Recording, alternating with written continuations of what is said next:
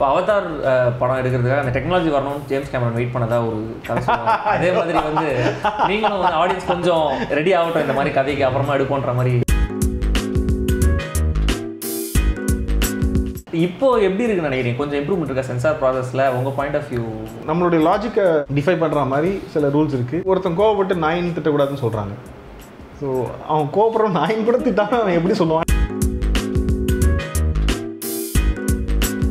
ரெண்டாவது படம் ஆரம்பிக்க தாமதம் பட் ரெண்டாவது படம் ரிலீஸ்லேயும் ஒரு டிலே இருந்த மாதிரி இருக்கு. கிட்டத்தட்ட ஒரு டூ இயர்ஸாக ப்ரொடக்ஷனில் இருக்கு. ஆமா. அதுவும் மோடி தான் காரணம்ன்ற மாதிரி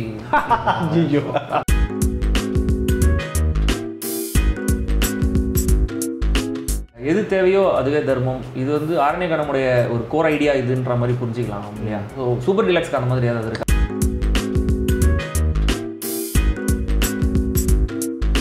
எழுதும்போது யாரும் நினச்சி எழுதல. ஃபஸ்ட்டு கேட்ட ஆள் ஃபஹத் தான். விஜய் சேதுபதி நான் நினச்சி கூட பார்க்கல. அவரே வாலண்டியராக வந்து மாட்டிக்கிட்டாரு. நல்லா சூப்பராக பண்ணியிருக்கேன் அந்த நல்லா நினச்சிருக்கேன் ஏன் சொல்லிட்டாங்கன்னா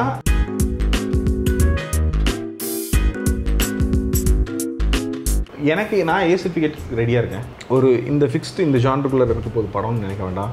எனக்கு தெரிஞ்சு சூப்பர் டிலக்ஸ் எந்த ஜான்ருக்குள்ளரையும் செட் ஆகாதுன்னு நினைக்கிறேன். அடங்காத தனத்துக்காக சொல்ல வரல பட் அது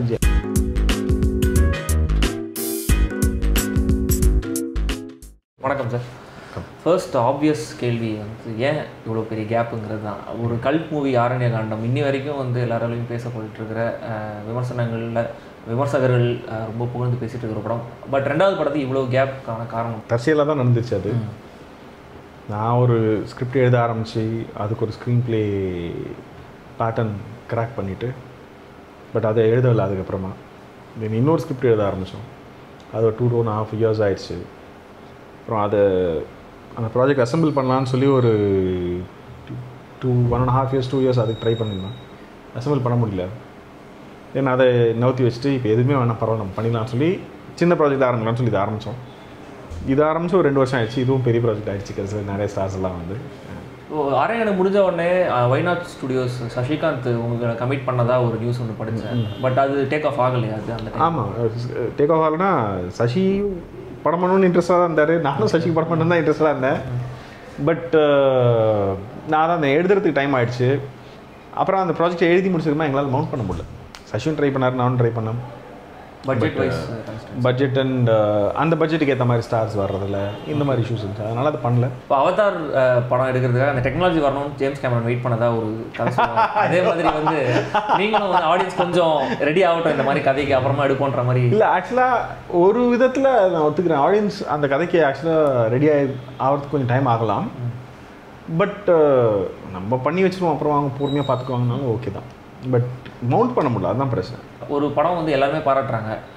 எல்லாரும் ஆகவும் சொல்கிறாங்க பட் அடுத்த படம் நம்மளை கமிட் பண்ண மாட்டாங்க யாரும் எதுவும் பேச மாட்டாங்கன்ற மாதிரியான ஒரு ஒரு பயம் வந்ததா இந்த கேப்பில் இல்லை அப்படி ஒன்றும் இல்லை. எனக்கு அப்படி ஒன்றும் அடுத்து படம் பண்ணணும்னு எப்போவுமே ப்ரெஷர் இருந்ததில்ல. படம் பண்ணணும்னு கூட ப்ரெஷர் இல்லை. இப்போ இப்போ இது படம் நீங்கள் ரிலீஸ் ஆகாது போடான்னு சொல்கிறாங்க நான் பாட்டுக்கு போயிடுவேன் எனக்கு அது ஒன்றும் அட்டாச்மெண்ட் இல்லை இல்லை ஓகே ஸோ அது அந்த மாதிரி ஏன் அந்த டிட்டாச்மெண்ட் எதனால்? ரொம்ப வந்து அவ்வளோ ஆழ்ந்து இல்லாமல் இருக்கிறதுக்கான காரணம். இல்லை அது செய்யும்போது ஆழ்ந்து செய்யலாம். மற்றபடி அதுக்கு அது இப்படி ஆகணும்னு சொல்லி எய்ம் பண்ணி அதில் ரொம்ப இமோஷனலி இன்வெஸ்ட் பண்ணக்கூடாதுன்னு நினைக்கிறேன் ஸோ மோஸ்ட்லி ரொம்ப எமோஷனலாக எதுலேயுமே நீங்கள் இன்வெஸ்ட் ஆக மாட்டீங்களா? உங்களுடைய ப்ராடக்டாக இருந்தாலும். இல்லை இமோஷனலாக இன்வெஸ்ட் பண்ணுவேன். ஆனால் அது என்ன சொல்கிறது இன்வெஸ்ட் பண்ணக்கூடிய அளவுக்கு உள்ளான விஷயத்தில் மட்டும் பண்ணலாம். அப்போ உங்களுக்கு ரொம்ப எக்ஸைட்மெண்ட் தரது வந்து அந்த ப்ராசஸாக இல்லை அந்த ஃபைனல் ப்ராடக்ட்டா ரெண்டும் தான். ரெண்டும் தான். ப்ராசஸும் எக்ஸைட்டிங்காக தான் இருக்கும். ப்ராடக்ட் எனக்கு ரெண்டும் வேறு வேறு தானே ப்ராசஸ் ப்ராசஸ்லேயே ப்ளெஷர் இருக்குது பை ப்ளெஷர் ஐ மீன் அதில் இருக்கக்கூடிய டிஃபிகல்ட்டிஸ் ப்ராடக்டோட எண்டில் ஆடியன்ஸ் பார்க்குறாங்கல்ல நம்ம ஃபைனலாக அது அங்கே தானே கொண்டு போய் சேர்க்கணும்னு நினைக்கிறோம். அண்ட் அவங்களுக்கு இந்த ப்ராசஸில் இருக்க பிரச்சனைகள் எதுவுமே தெரியாது. அவங்களுக்கு அது தேவையும் கிடையாது. அவசியம் இல்லை. ஆமாம் அவங்களுக்கு வந்து நல்லா சூப்பராக பண்ணியிருக்காங்க நல்லா நடிச்சிருக்காங்க சொல்லிட்டாங்கன்னா அவங்களுக்கு ஆக்டர்ஸ் சந்தோஷம். அதுக்கு நம்ம அவங்கள கஷ்டப்படுத்தணுன்ட்டோ இல்லை அவங்க தங்களை அதுக்கு வருத்திக்கிட்டாங்கங்கிறதையோ இவங்க தெரியணும்னு கூட அவசியம் கிடையாது. ரெண்டாவது படம் ஆரம்பிக்க தாமதம் பட் ரெண்டாவது படம் ரிலீஸ்லேயும் ஒரு டிலே இருந்த மாதிரி இருக்கு. கிட்டத்தட்ட ஒரு டூ இயர்ஸாக ப்ரொடக்ஷனில் இருக்கு. ஆ. அதுக்கும் மோடி தான் காரணம்ன்ற மாதிரி. ஐயோ அதுக்கும் மோடி தான் காரணம். நீங்க என்ன இல்லை. ப்ரொடக்ஷன் டைம் எடுத்தது உண்மைதான். டிலே கிடையாது. ஏன்னா இப்போ தான் முடித்தோம் ஷூட் லாஸ்ட்டு ஒரு டூ த்ரீ மந்த்ஸ் கூட இல்லை முடிச்சு ஷூட் முடிச்சு. ஷூட் முடிச்சதுமா எடிட்டு எடிட் முடிச்சுட்டு சவுண்ட் டிசைன் இப்போ மியூசிக் போயிட்டுருக்கு. ஸோ எனக்கு டிலேன்லாம் ஒன்றும் இல்லை ரெகுலர் ஃபில்மை கம்பேர் பண்ணால் அது டைம் எடுத்தது உண்மைதான். அது ஏன்னா எனக்கு அது ரொம்ப காமனாக எனக்கு நடக்கிறது. தான் ஸோ எனக்கு அது பழகிடுச்சு. ஆமாம் எனக்கு அது பழகிடுச்சு. கம்பேரிட்டிவ்லி இது பெரிய டிலே இல்லைன்ற இது ரொம்ப நார்மலான டைம் தான். ஆரண்யகாண்டம் ரிலீஸ் டைமில் சென்சார் இஷ்யூ வந்து பெருசாக போச்சு. எல்லாரும் இடத்துலையும் வந்து அதை பற்றி எழுதுனாங்க. ஆக்சுவலாக படத்துக்கான ப்ரொமோஷனாகவே அந்த டூல் வந்து யூஸ் பண்ணுவீங்க அந்த மாதிரி ஒரு ஒரு கட்டு ஒரு? ட்ரெய்லர் கட்டு ரிலீஸ் பண்ணீங்க இல்லையா? எல்லா வேர்ட்ஸையும் சரண் ரிலீஸ் பண்ணார். ஆமாம் அது இப்போ தான் பண்ணார் கரெக்ட் ஸோ ஆனால் அந்த படத்துக்கு வந்து நேஷனல் அவார்டு கிடச்சிது. இது ஒரு ஐரணி மாதிரி ஃபீல் பண்ணீங்களா நீங்கள் ஆமாம் பட் அதுக்கு ரீசன் என்னன்னா சென்சார் கொடுக்குற விங் கம்ப்ளீட்டாக வேறு. நேஷனல் அவார்டு கொடுக்குற விங் கம்ப்ளீட்டாக வேறு. ஸோ இதுக்கும் அதுக்கும் ஒன்றும் கனெக்ஷன் இல்லை. ஸோ ஒரு கையால் கவர்மெண்ட் அது நிறுத்தினாலும் இன்னொரு கையால் அதுக்கு அப்ரிஷியேட் பண்ணுறாங்க இப்போ எப்படி இருக்குன்னு நினைக்கிறீங்க? கொஞ்சம் இம்ப்ரூவ்மெண்ட் இருக்கா? சென்சார் ப்ராசஸில் உங்கள் பாயிண்ட் ஆஃப் வியூ ஏன் நான் தான் போகலையே. நான் இப்போ தான் படம் பண்ணுறேன் இந்த படம் முடிஞ்சு இல்லை நீங்கள் மற்ற படங்களோட கிரியேட்டிவ் ப்ராசஸில் இன்வால்வ் இருக்கீங்க? இந்த செவன் எயிட் இயர்ஸ். அப்போ அந்த அந்த. பாயிண்ட் ஆஃப் வியூ பார்க்கும்போது. இது ரொம்ப எப்படி சொல்கிறது நிறைய நேரம் ரொம்ப அப்சர்டாக தான் இருக்குது சில சொற்கள் வந்து சராசரியாக நம்ம ரொம்ப இயல்பாக பயன்படுத்துகிற சொற்களை வந்து சென்சாரில் யூஸ் பண்ண விட மாட்டேன்றாங்கன்னு சொன்னாங்க. பெண்கள் குடிக்கிறது மாதிரி காட்டக்கூடாதுன்னு சொல்கிறாங்க அப்போ ஆண்கள் குடிக்கிறதையும் காட்டக்கூடாது தானே? ஸோ அந்த மாதிரி நம்மளுடைய லாஜிக்கை டிஃபை பண்ணுற மாதிரி சில ரூல்ஸ் இருக்குது அவங்களுக்கு அதுக்கு காரணம் சில காரணங்கள் இருக்கும். அது அது அவங்களோட பர்ஸ்பெக்டிவ் பார்த்தா தான் தெரியும். பட் ஒருத்தன் கோவப்பட்டு நாயின் திட்டக்கூடாதுன்னு சொல்கிறாங்க ஸோ அவன் கோவப்படுற நாயின் கூட திட்டாமல் அவன் எப்படி சொல்லுவான்னு எனக்கு தெரியல. பட் இந்த இதை வந்து அவங்க ஓரளவுக்கு புரிஞ்சிட்டாங்கன்னா ஈஸியராக இருக்கும்னு நினைக்கிறேன் ப்ராசஸ் உங்களுக்கு அந்த ப்ராசஸ் அந்த ஃபைட் இருக்கு இல்லையா? சென்சார் போர்டு கூட இருக்க அந்த இதனால இந்த சூப்பர் டீலக்ஸ் ஸ்கிரிப்ட் எழுதும்போது அது இம்பாக்ட் இருந்ததா? இதெல்லாம் மாற்றணும் இதெல்லாம் சென்சாரில் பண்ண மாட்டாங்கன்ற மாதிரி ஒரு ரெஸ்ட்ரிக்ஷன் இருந்ததா? இல்லை. நான் எழுதும் பொழுது மேக்கிங்கில் இருக்க பிரச்சனை கூட யோசிக்கிறது கிடையாது. இது இதுக்கு ஆக்டர் கிடைப்பாங்க. அப்படின்னா அந்த அந்த ஸ்கிரிப்ட் ரெண்டரை ரெண்டரை வருஷம் எழுதியிருக்க மாட்டேன். இதுக்கு ஆக்டர் கிடைக்க மாட்டாங்க இதுக்கு ப்ரொடியூசர் கிடைக்க மாட்டாங்கலாம் யோசிக்கிறதே இல்லை. அந்த நேரம் எழுதுறதுல இருக்க ப்ளஷர் இது ஒரு சீன் யோசிச்சுட்டு இது இதை சீனாக எழுதவே முடியாதுன்னு இருக்கும். அதை எழுதுறது தான் எனக்கு ப்ளஷர் ஸோ அந்த ஒரு ஒன் வீக் எடுத்துக்கிறதோ டென் டேஸ் எடுத்துக்கிறதோ அந்த சீன் அதுக்கு ஒரு இப்படி வரணும்னு ஒரு சீன் ஒரு எய்ம் ஒன்று இருக்கும் இல்லைங்களா? அந்த எய்ம் வரதுக்கு அச்சீவ் பண்ணும் அவ்வளோதான் அது வந்ததுக்குமா அடுத்த சீன் அது வந்ததுக்குமா அடுத்த சீன் இப்படி தான் பிளான் ஸோ ஆன்லைன் ஆர்டர் போடுறோம் சீன்ஸ் எழுத ஆரம்பிக்கிறோம். தென் அது வரைக்கும் இதுக்கு நடிக்கிறதுக்கு ஆக்டர் கிடைப்பாங்களா? ப்ரொடியூசர் இதை ஒத்துக்குவாங்களா? சென்சாரில் அக்செப்ட் பண்ணுவாங்களா? ஆடியன்ஸுக்கு பிடிக்குமா? இல்லை அந்த ஆடியன்ஸ்க்கு பிடிக்குமான்றது ஒண்டி எங்கே கணக்கில் எடுத்துக்கணும்னா நான் ஆடியன்ஸாக இருப்பேன் எழுதும்பொழுதும் ஏன்னா அது திருப்திப்படுத்துதான்னு பார்த்துக்குவேன். ஸோ இதே கணக்கு தான் எல்லாத்துக்கும். எல்லாத்துக்கும். அந்த நேரத்துக்கு அது ஒன்று தான் நம்மளுடைய எய்ம் ஸோ அப்போது ஆக்டர்ஸ் பற்றி ப்ரொடியூசர்ஸ் பற்றி சென்சார் பற்றி ஆடியன்ஸோடைய பாக்ஸ் ஆஃபீஸ் ரிசல்ட் பற்றி கவலைப்படக்கூடாது. அந்த ஸ்டேஜுக்கு வரும்போது அதை பற்றி யோசிக்கலாம். ஸோ இப்போ now that film is over இப்போ என்ன எதிர்பார்க்குறீங்க? சூப்பர் டிலக்ஸ் சென்சாரில் ஏதாவது பிரச்சனை வரும்னு நினைக்கிறீங்களா? கண்டென்ட் சென்சாரில் பிரச்சனைலாம் வராது. எனக்கு நான் ஏ சர்டிஃபிகேட் ரெடியாக இருக்கேன். எனக்கு ஏ சர்டிஃபிகேட் கொடுத்தாங்கன்னா சந்தோஷம். கொடுங்க ஆனால் கட் பண்ணாமல் கொடுங்க. ஆ அவ்வளோதான் அடல்ட்ஸ் பார்க்கட்டுமே அப்படின்னு சொல்கிறது வந்து என்னுடைய ஒரு ஸ்கிரிப்ட் ரெடி பண்ணி அதை மூணு ஃபிலிம் மேக்கர்ஸ் கிட்ட கொடுத்து அதை ரிவ்யூ பண்ணி ஒரு ஒரு ஸ்கிரிப்ட் ரெடி பண்ணதா ஒரு விஷயம் நடுவில் ஒரு இன்டர்வியூவில் சொல்லியிருந்தீங்க. அதுதான் சூப்பர் டிலக்ஸா ஆமாம் ஆனால் அதை ரிவ்யூ பண்ணல. அவங்க எழுதியிருக்காங்க. ஸோ ஒரு கோர் ஐடியா அதோடைய போர்ஷன்ஸை வந்து நான் மூணு ரைட்டர்ஸ் கொடுத்துட்டேன். அந்த மூணு ரைட்டர்ஸ் அதை எழுதுறாங்க. அவங்க கொடுக்குறாங்க. இந்த ரைட்டர் எழுதுறது அந்த ரைட்டர் படிக்கல ஒரு ரைட்டர் எழுதுறது இன்னொரு ரைட்டருக்கு தெரியாது. சிலருக்கு வந்து அது என்ன கதையில் என்ன நடக்குதுன்னு கூட தெரியாமல் இருக்கலாம். டீட்டெயில்ஸ் தெரியாமல் இருக்கலாம். ப்ராட் ப்ராட் ஸ்ட்ரோக்காக தெரியும். இது இது இருக்கலான்னு பட் அதுக்குள்ளே இருக்கிற டீட்டெயில்ஸ் கேரக்டர்ஸ் பற்றி எதுவும் தெரியாது. ஸோ இதெல்லாம் என்ன நடக்குதுன்னு எனக்கு ஒண்டி தெரியும். அண்ட் அதை எல்லாத்தையும் ஒரு என்ன சொல்கிறது ஸ்டைலில் எடுத்துகிட்டு வந்துருக்கீங்க. ஆ அதெல்லாம் ஒரு ஒரு வேவ் லெங்க்குள்ளார எல்லாத்தையும் கொண்டு வர்றது அந்த கன்சிஸ்டன்சிக்காக ஆ எல்லாத்தையும் ஒரு கன்சிஸ்டன்சிக்குள்ளே கொண்டு வர்றது ஸோ அதெல்லாம் அது ஒன்றா வரும்பொழுது மேஜிக்கலாக இருக்கும்னு நினைக்கிறேன். ரைட்டிங் கிரெடிட்ஸ் எல்லாருக்குமே தான். ஆமாம் மூணு நான் நாலு பேருக்கும் எனக்கும் சேர்த்து. அவங்க பேரையும் சொல்லிடுங்க சார் ஆ மிஷ்கின். நலன் குமாரசாமி நீலன் சேகர். நீலன் கே. சேகர். அனுராக் காஷ்யப் கூட நீங்கள் கொலாப் பண்ணுறதா ஒரு அவரு தான் எழுதுறதா இருந்தது. ஓகே. அவர் அப்போது அவரும் ஒன் ஆஃப் த ரைட்டர்ஸாக இருந்திருக்க வேண்டியது. அவர் அப்போ அந்த பாம்பே வெல்வெட் வந்து ஃபெயிலியரில் ரொம்ப டிப்ரெஷனில் இருந்தார். ஓகே. ஸோ அவரால் எழுத முடியல. அதனால் நம்ம எழுதிட்டோம். அதான் இல்லைன்னா அது நான் எழுதுனது அவர் எழுதியிருக்க வேண்டியது. அதனால் அவர் எழுதல நான் எழுதிட்டேன். எது தேவையோ அதுவே தர்மம். இது வந்து ஆரண்யகணமுடைய ஒரு கோர் ஐடியா இதுன்ற மாதிரி புரிஞ்சுக்கலாம் இல்லையா? ஸோ சூப்பர் டிலக்ஸ்க்கு அந்த மாதிரி ஏதாவது இருக்கா? அது மாதிரி ஒன்று இருக்குது பட் அது படத்தோட ஆரம்பத்திலேயே வந்து எது தேவை? அப்ப அந்த மாதிரி இருக்காது. படத்தோட முடிவில் நம்ம ஓகே இதுதான் சொல்ல வரான் போட்டிருக்கேன் ஒரு ஒரு ஐடியா வரும். இது வந்து சம்சாரம் அது மின்சாரம் படத்துக்கான ஒரு ஹோமேஜ் மாதிரி இருக்குன்றதையும் அந்த இன்டர்வியூ நீங்கள் சொல்லுங்க. நிஜமே அப்படிதானா? இல்லை அது ஒரு இல்லை அது யா அது என்ன விதத்தில் ஹோமாஜ்னா இந்த மல்டிபிள் கேரக்டர்ஸ் பேஸ் பண்ணி எழுதுறது இப்போ ரொம்ப குறைஞ்சிருச்சு. ஸோ அந்த விதத்தில் அதுக்கான ஹோமாஜ் ஒரு ஒரு ஒரு ஸ்பேஸில் ஒரு ஸ்டோரிக்குள்ளார இவ்வளோ கேரக்டர்ஸ் இருக்காங்க. எல்லாருக்கும் ஒரு பெர்ஸ்பெக்டிவ் எல்லாருக்கும் ஒரு ஆப்ஜெக்டிவ் எல்லாருக்கும் ஒரு ஆப்ஸ்டக்கிள் அவங்களோட கேரக்டர் ஒர்க்ஸு இதெல்லாம் ஒரு இடத்துல போட்டு ஒரு ஒரு மிக்ஸ் பண்ணால் ஒரு ஒரு அதோடைய அமால்கமேஷன் ரொம்ப இன்ட்ரெஸ்டிங்காக இருக்கும் இல்லைங்களா? ஸோ அதுதான். ஸோ இவ்வளோ கேரக்டர்ஸ்க்கான காஸ்டிங் ப்ராசஸ்ன்றது ஈஸியாக இருந்ததா? நீங்கள் நினச்ச கேரக்டர்ஸ் எல்லாருமே கிடச்சிட்டாங்களா? யார் யார் கேஸ்ட் பண்ணணும்னு நினச்சிங்களோ அவங்க எல்லாருமே கட கட- கிடச்சிட்டாங்களா? ரெண்டு கா ரெண்டு கேரக்டர்ஸ் தவிர மிச்சம் எல்லாத்துக்குமே காஸ்டிங் ரொம்ப ஈஸி ஆயிடுச்சு. சமந்தாவோட கேரக்டர் அப்புறம் ஆர்கேன்னு நம்ம ரம்யா கிருஷ்ணனோட கேரக்டர் இவங்க இவங்க ரெண்டு பேரோட காஸ்டிங் கொஞ்சம் டிஃபிகல்ட்டாக இருந்தது. கொஞ்சம் இல்லை கொஞ்சம் நல்லாவே டிஃபிகல்ட்டாக இருந்தது. மற்ற எல்லாத்துக்குமே இமீடியட்டாக காஸ்ட் யாரும் அவங்க தான். ஆமாம் ஃபஹாத் கேரக்டருக்கு ஆல்மோஸ்ட் ஃபர்ஸ்ட் சாய்ஸ் நான் எழுதும்போது யாரையும் நினச்சி எழுதல. ஃபஸ்ட்டு கேட்ட ஆள் ஃபஹாத் தான். அவர் உடனே பண்ணுறேன்னு சொல்லிட்டார். அதனால் அவர் கிடச்சிட்டாரு. விஜய் சேதுபதி நான் நினச்சி கூட பார்க்கல. அவரே வந்து நான் பண்ணுறேன்னு சொல்லி கே இதுவாகிட்டார் என்ன சொல்கிறது அவரே வாலண்டியராக வந்து மாட்டிக்கிட்டார். அதனால் அவர் அவரும் ஈஸியாக உடனே நடந்தது. மிஷ்கின் கேட்டேன். உடனே அவர் ஓகேன்ட்டார் காயத்ரியும் கேட்டேன். காயத்ரி ஓகேன்ட்டாங்க பகவதி பெருமாள். பக்ஸ் பக்ஸ் கேட்டோன்னே பக்ஸ் ஓகே அவ்வளோதான் ஃபஹத் ஃபாசில் வந்து நீங்கள் கமிட் பண்ண டைமில் எனக்கு தெரிஞ்சு அவர் தமிழ் படம் எதுலையும் நடிக்கலன்னு ஆமாம் நம்மள தான் ஃபஸ்ட் அவரை காஸ்ட் பண்ணணுன்ற ஐடியா எப்படி இருந்தது? உங்கள் பாயிண்ட் ஆஃப் வியூ அவர் ஆக்டிங் பற்றி கொஞ்சம் சொல்ல முடியும்? எனக்கு அவர் ரொம்ப பிடிக்கும். பெர்ஃபார்மன்ஸ் எல்லாரையும் இருந்தேன் நானும் அவருடைய ஆக்டிங்க்கெலாம் ஃபேன் தான். ரொம்ப அலட்டிக்காமல் நடிக்கிற நடிகர். நான் மகேஷ்ன்ற பிரத்தியாரம் தான் பார்த்தேன். அதுக்கு இதுக்கு முன்னாடி அவரோட படம்னு பார்த்தது. அது பார்த்தேன். அஞ்சு சுந்தரிகள் படத்தில் அவருடைய அவரோட போர்ஷன் இல்லையா இன்ஃபேக்ட் நான் அந்த போர்ஷன் பார்க்குறதுக்குள்ள நான் தூங்கிட்டேன். நைட் ஷோ கூட்டு போயிட்டாரு. நான் தூங்கிட்டேன். ஆனால் அவருடைய பெர்ஃபார்மன்ஸ் கொஞ்சம் நேரம் பார்த்தேன். நமக்கு அது நமக்கு என்ன நமக்கு நம்ம கேரக்டர் பண்ணுறதுக்கு ஒத்துட்டாருன்னா போதும் அவ்வளோதான் அதுக்குமா அவருக்கு திறமை இருக்குது இல்லைங்கிறதால நம்ம பிரச்சனை இல்லை அவர் அதை வந்து கொடுக்க போகிறாரு செட்டில் இப்போ விஜய் சேதுபதி கேரக்டருக்கு ஸ்பெஷலாக ஏதாவது அவருக்கு பயிற்சி தேவைப்பட்டதா? ஹோம்ஒர்க் மாதிரி ஏதாவது பண்ண நீங்கள் உங்கள் சைடில் இன்புட்ஸ் ஏதாவது நீங்கள் இல்லை இல்லை இல்லை. ஷில்பா கேரக்டர் எப்படின்னு சொன்னால் நீங்கள் ஷில்பா முன்னாடி நீங்களும் பார்த்ததில்ல நானும் பார்த்ததில்ல அவரும் பார்த்ததில்ல. அப்புறம் அங்கே அங்கேருந்து வர்றது தான் ஷில்பா.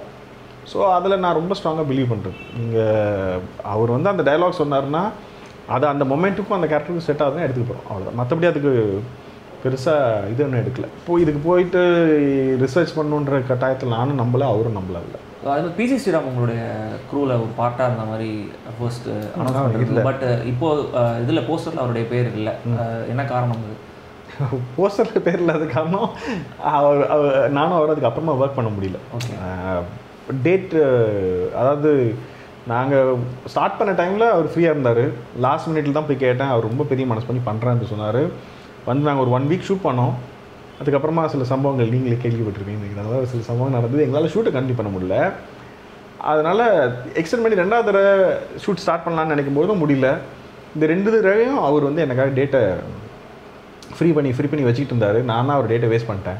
அடுத்த தடவை கடைசியாக எங்களுக்கு எல்லாம் திருப்பி கைக்கூடி வர நேரத்தில் அவரோட டேட் அவைலபிளாக இல்லை. ஏன்னா எந்த எதுக்காக எங்களோட ஷூட்டுக்காக எந்த ஷூட்டை புஷ் பண்ணாரோ அந்த ஷூட்டை அவங்களும் ரெண்டு தடவை பொறுமையாக பொறுத்து பார்த்துட்டு தான் ஒரு டேட்டை ஃபிக்ஸ் பண்ணியிருக்காங்க.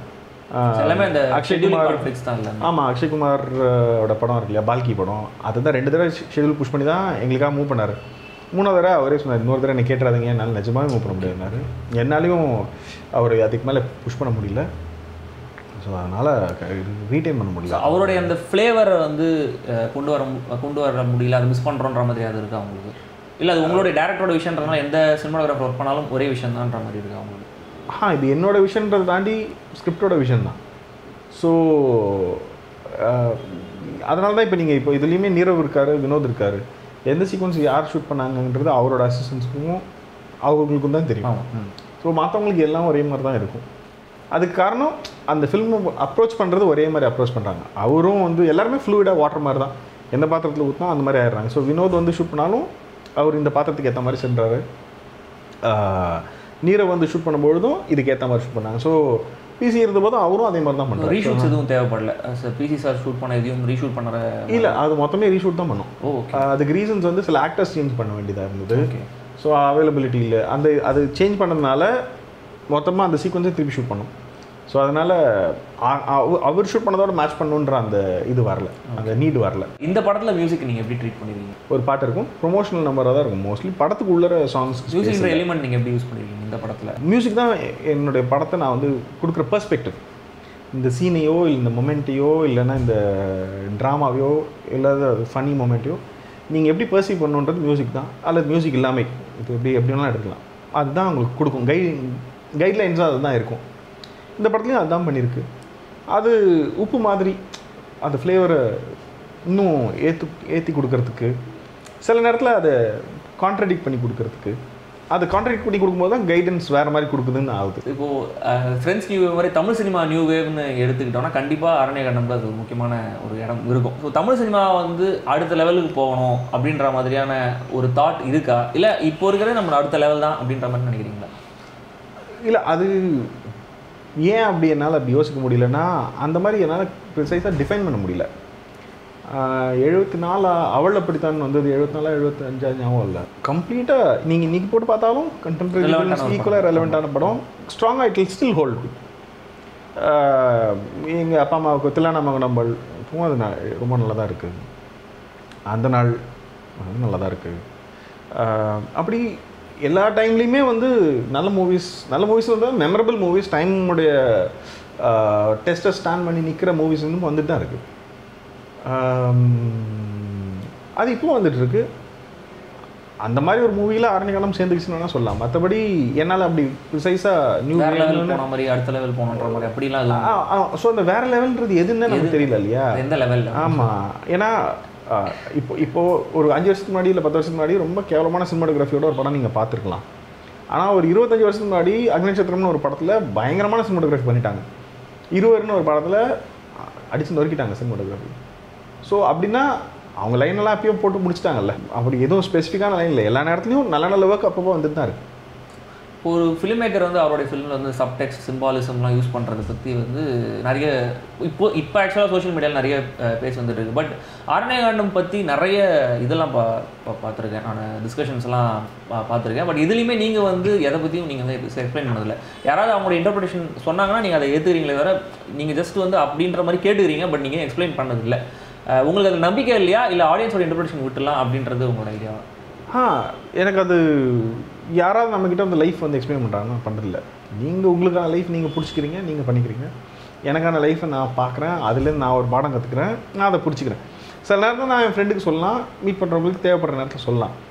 பட் அது மட்டும்தான் அங்கே இருக்கான்னா அது மட்டும் இல்லை. அதை தாண்டி நிறையா இருக்குது சில நேரத்தில் அதில் இல்லாதது நம்ம மைண்ட்லேயே இருக்கும். ஸோ அது ஒரு அது ஒரு பெரிய விளையாட்டில் அதுக்குள்ளே நம்ம போயிட்டு எதுக்கு ஒரு பர்ஸ்பெக்டிவ் கொடுத்துட்டு? ஸோ ஆஃப் லேட் சில ஃபிலிம் மேக்கர்ஸ் வந்து வாலண்டியராக வந்து கோனார் உரை மாதிரி வந்து இதுதான் இதுதான் நான் சொன்னேன். இதுதான் குறியீடுன்ற மாதிரி எக்ஸ்பிளைன் பண்ணுறதை பார்க்கும்போது என்ன நினைப்பீங்க? அது அவங்களுடைய பாடம் இல்லை. இப்போ அவங்க அப்படி பார்க்குறாங்க அந்த விஷயத்தன்னு தான். அதில் உயர்வு தாழ்வுன்னு எதுவுமே கிடையாது. சில படங்களுக்கு உண்மையாகவே தேவைப்படுமா இருக்கும். நமக்குமே சில படம் புரியல. சரி அது இருந்தாலும் என்ன தான் சொல்கிறான்னு பார்க்கலாம் ஸோ அவங்களுடைய இன்டர்வியூ பார்த்ததுக்கப்புறம் அந்த படம் பார்த்தா கொஞ்சம் பெட்டராக புரியலாம். அந்த மாதிரி தான். முன்னாடி சொல்லிருந்தீங்க இந்த டிட்டாச்சாக இருக்கிறது எமோஷனலாக இன்வெஸ்ட் பண்ணாமல் இருக்கிறத பற்றி பேசியிருந்தீங்க. சினிமாவில் ஃபுல் ஃப்ளெஷ்டாக இருக்கிறது வந்து ஒரு மாதிரி இன்செக்யூர்டான ஃபீலை கொடுக்குது அவங்களுக்கு அப்படிலாம் ஒன்றும் இல்லை. இது ஒரு தொழில் தான். பட் உங்களுடைய சர்வைவலுக்கு நீங்கள் வந்து ஆட் எடுக்கிறது இல்லை இப்போ கொலாப் பண் கொலாபரேட் பண்ணுறதுன்ற மாதிரி பண்ணிட்டு இருக்கீங்களா இல்லை நான் ஆட்ஸு ரொம்ப நாள் ஆயிடுச்சு நான் என் லைஃப்லேயும் மொத்தம் நாலு மூணு ஆட் நாலு ஆட் பண்ணியிருந்தா பெரிய விஷயம். அவ்வளோதான் பண்ணியிருக்கேன். அண்ட் ஸோ அதனால் எனக்கு அதில் ஒன்றும் என்ன சொல்கிறது பெனிஃபிட் அப்படிலாம் ஒன்றும் இல்லை. அந்த ஃபேஸ்புக் யூசர் நேம் அதை பற்றி கொஞ்சம் ஒரு கிளாரிட்டி கொடுத்துருங்க. நீங்கள் தானே இல்லை நான் ஃபேஸ்புக்கில் இல்லை.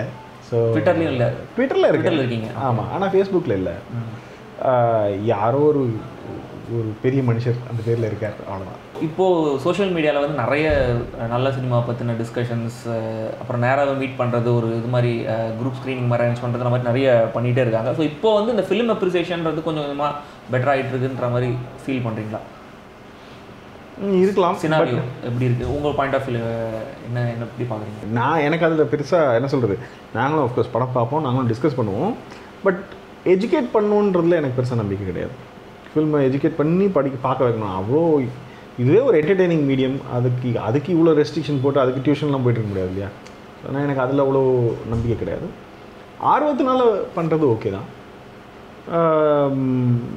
யா அது ஆரோக்கியமானலாம் எனக்கு அவ்வளோலாம் எனக்கு தெரியாது. ஓ super deluxe first look poster பார்த்துருப்பீங்க. அதோட வடிவேல் வெர்ஷன் பார்த்தீங்களா? நீங்கள் தான் டிசைன் பண்ணீங்களா? அப்படின்னு ஒரு அது அந்த ஐடியா எப்படி வந்தது? சொல்லுங்கள் சொல்லுங்க எனக்கு. இல்லை எல்லாரும் பண்ணுறப்ப நம்ம பண்ணிடலான்ற ஐடியாவா? இல்லை இல்லை அதான் அன்னைக்கு ஒரு நாள் ஃபர்ஸ்ட் லுக் எப்போ பண்ணலாம்னு யோசிச்சுட்டு இருந்தோம் பேசிட்டு இருந்தோம். ஃபர்ஸ்ட் லுக் முன்னாடி டிசைன் பண்ணுறோம் அப்புறம் அப்படி ஏதோ பேசிட்டு இருக்கும்போது நான் நம்ம என்ன பண்ணாலும் எப்படியாவது முடிச்ச உடனே கொஞ்சம் எவனா எவனாவது ஒருத்தன் அதில் ஒரு வடிவேல் வருஷன் விடுவான் அப்போது அந்த அதில் ஒரு பெரிய ப்ளெஷர் இருக்குல்ல. அதுக்கு ஒரு வடிவேல் இமேஜ் எடுத்து வைக்கலான்னு அந்த ப்ளெஷரை ஏன் நம்ம விட்டு கொடுக்கணும்? அந்த ப்ளெஷரை நம்மளே எடுத்துக்கலாம்னு சொல்லிட்டு டிசைனர் போகியோட உட்காந்து வச்சு இதை பண்ணலாம்டா. அவன் வந்து ஏன்டா அந்த வேலை அப்படின்னா? சரி ஜாலியாக இருக்கும்டா. அதுக்கப்புறமா நாங்களே அதை பண்ணிக்கிட்டோம். அது ஒரு பெரிய ப்ளெஷர் தான் நமக்கு. அது நம்மளே பண்ணுறோம் அஃபிஷியலாக அதை ரிலீஸ் பண்ணுறதுல I think it's we should accept that அது ஒரு ரியாலிட்டி இல்லை. ஆமா, அதை நம்ம அக்செப்ட் பண்ணிக்கலாம்ல. ட்ரெய்லர் வந்து எப்படி இருந்தாலும் ஒரு வடிவேல் வெர்ஷன் படியில் வருஷம் வருதுன்னா முடிஞ்சா எங்களுக்கு டைம் வந்தால் நானும் அதையும் கட் பண்ணி விடலாம். I am sure somebody do a better job but அவன் இது கற்றுக்குட்டி இல்லை. இது புதுசாக பண்ணுறோம்ல அதனால் நாங்கள் அது இன்ட்ரெஸ்டிங்காக பண்ண ஆசைப்படுவோம். சூப்பர் டீலக்ஸ் படத்துக்கு என்ன எதிர்பார்த்து வரலாம் ஆடியன்ஸ் ஒரு ஆடியன்ஸ் பாயிண்ட் எதை வேணால் எதிர்பார்ப்பாங்க. அதுதான் மேட்டர் ஆக்சுவலாக எதுவும் நடக்கலாம் ஒரு ஒரு கதையில் அப்படின்னு நினச்சிட்டு வந்தாங்கன்னா பெட்டர் ஓப்பன் மைண்டடாக இருந்தாங்கன்னா பெட்டர் நான் அதுதான் திருப்பி சொல்கிறது அதுதான். ஓப்பன் மைண்டடாக இருங்க. ஒரு இந்த ஃபிக்ஸ்டு இந்த ஜான்ருக்குள்ளே இருக்க போது படம்னு நினைக்க வேண்டாம். எனக்கு தெரிஞ்சு சூப்பர் டீலக்ஸ் எந்த ஜான்ருக்குள்ளரையும் செட் ஆகாதுன்னு நினைக்கிறேன். அது ஒரு அது ஒரு என்ன சொல்கிறது அதுக்கு ஒரு ஒரு அடங்காத தனத்துக்காக சொல்ல வரல பட் அது ஜ- கதையாகவுமே அது அதுக்குள்ளே ஃபிட்டன் ஆகலை. அது அதை போக்கிலே விட்டுட்டா பெட்டர் ப்ராசஸ் மாதிரி தான் ஆ அது அப்படியே இருக்கட்டும். விட்டுட்டா ஆடியன்ஸும் அதை ஏதோ போகுது அதை சந்தோஷமாக பார்ப்போம் அப்படின்னு நினச்சாங்கன்னா சந்தோஷமாக இருக்கும். Okay. Okay. Thanks you so much.